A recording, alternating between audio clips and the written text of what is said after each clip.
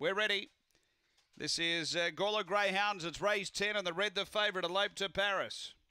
Away they go, bombing the start a bit there, married twice. Elope to Paris got shut out of it too. They go to the back and finding the lead. Filthy Phantom darted away by two to Big Prediction. Burnt Gold, a couple away, married twice. Three away, Ripplebrook Snip. And then came Elope to Paris, but up to the bend, it's Filthy Phantom clear. Going well from Big Prediction. Uh, then Burnt Gold, Filthy Phantom in front and wins again.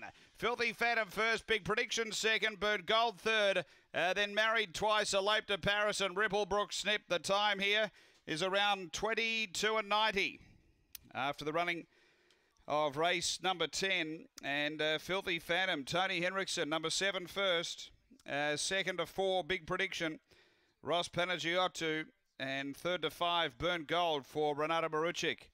It's uh, 7 4 5 8 fourth after Gawler, race number 10.